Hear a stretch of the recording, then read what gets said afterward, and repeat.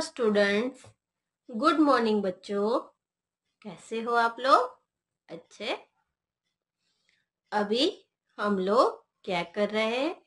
व्यंजन पढ़ रहे हैं। है ना? हम लोग क, ख, ग, ये तीन लेटर सीख लिए। अभी आज हम एक और नया लेटर सीखेंगे, जो कि है ग। मैंने यहाँ पे जो लेटर लिखा है, उसको क्या कहेंगे? घ क्या बोलना है? घ ध्यान से एक बार। घ घ से घर। ये जो मैंने पिक्चर ड्रॉ किया है, उसको क्या बोलेंगे? घर। घर। इसका फ़र्स्ट लेटर कौन सा है? घ घ से घर. घ से घर. घ से घड़ा घड़ा मतलब पानी भरने का मटका. ये है घ तो इधर भी फ़र्स्ट लेटर घ है और ये घर है, इसमें भी फ़र्स्ट लेटर घ आता है. तो ये है घ. क्या पढ़ेंगे इसको? घ. ये है घ। घ से घर, घ से घड़ा, घ से घड़ियाल। घड़ियाल मतलब मगरमच्छ, ठीक है? घ घ से घर, घ घ से घड़ा, घ से क्या करेंगे? घ से घर। घर मतलब हाउस और घ से घड़ा मतलब पानी भरने का मटका। घ से घड़ी। आप जो वॉच पहनते हो, उसको क्या कहेंगे? घड़ी। तो उसे घ से घड़ी। ठीक है? तो आज हमारा नया लेटर घ तो घ को हम लिखना सीखेंगे। तो सबसे पहले हम लोग अपनी वर्कबुक में लिखेंगे। उसके बाद हम लोग अपनी नोटबुक में भी लिखेंगे। हमारी वर्कबुक में घ से घर लिखना है। तो सबसे पहले आप लोगों को हिंदी की वर्कबुक ले लेनी है। और फिर page number one five fifty open कर लेना है।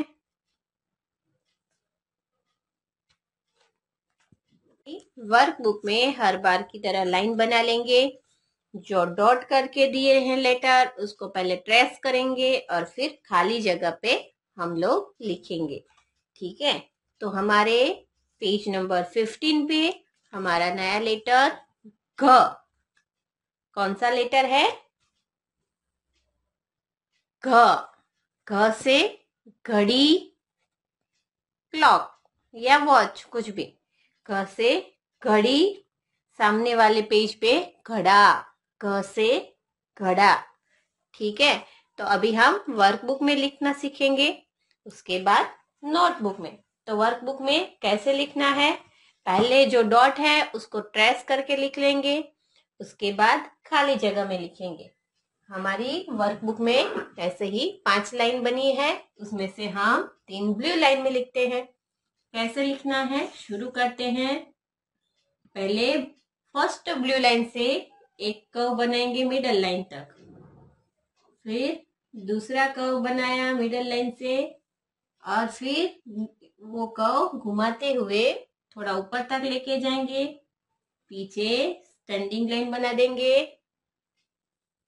ऊपर स्लीपिंग लाइन बन गया घ घ से घर.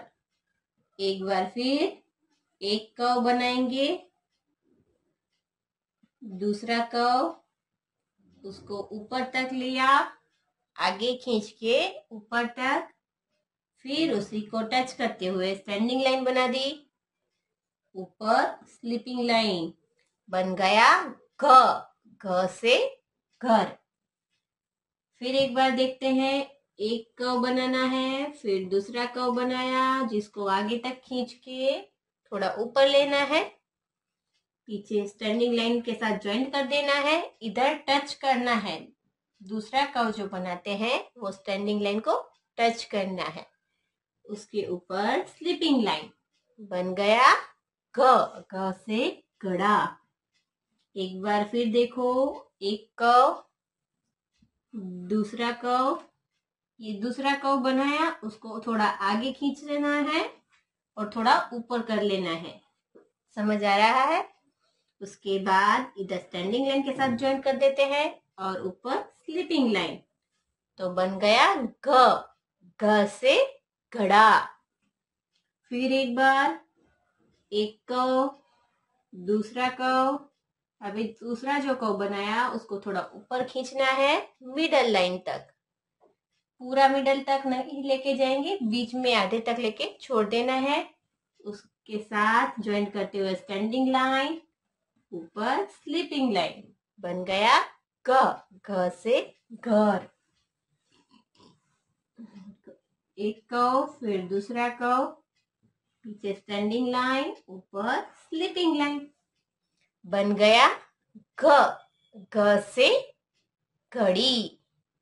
तो ऐसे ही डॉट को ज्वाइंट करते हुए आप ट्रेस कर लोगे, फिर उसके बाद खाली स्पेस में लिखोगे घ से घर।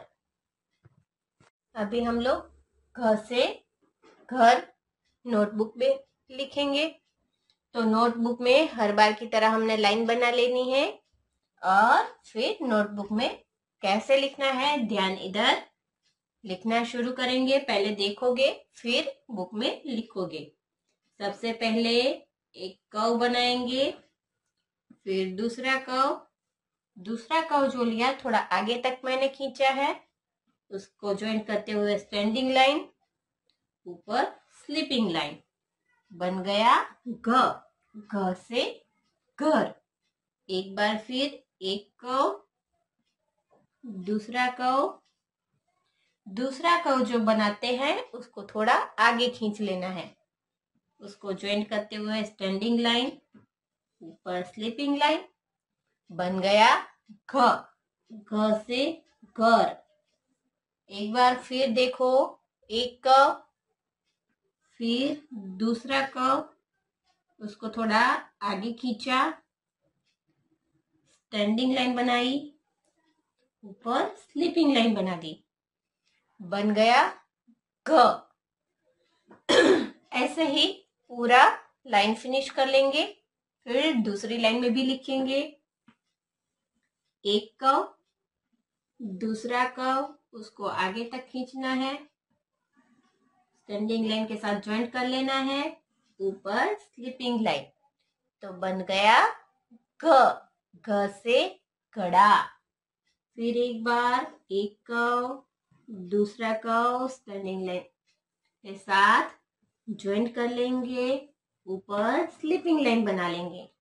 बन गया क एक बार फिर एक कव दूसरा कव स्टैंडिंग लाइन के साथ ज्वाइंट किया, ऊपर स्लीपिंग लाइन बनाई। बन गया क क से कड़ा। फिर एक बार देखो। एक कव, फिर दूसरा कव, उसको आगे तक खींचा। ऊपर स्टैंडिंग लाइन ऊपर स्लीपिंग लाइन तो बन गया ग। घ से घड़ी। फिर एक बार एक कव, दूसरा कव, ऊपर से पीछे एक स्टैंडिंग लाइन ऊपर स्लीपिंग लाइन। बन गया घ घ से घड़ा फिर एक बार एक कव ऊपर की लाइन से शुरू कर रही हूँ कव वो ध्यान से। फिर दूसरा कव पीछे एक स्टैंडिंग लाइन ऊपर स्लीपिंग लाइन बन गया घ घ से घर। घ से घड़ा घ से घड़ी। तो ये है हमारा आज का लेटर घ।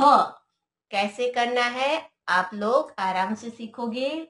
तो आ जाएगा, पहले ट्रेस करके जो वर्कबुक में दिया है उसको करना और फिर उसके बाद नोटबुक में लिखेंगे।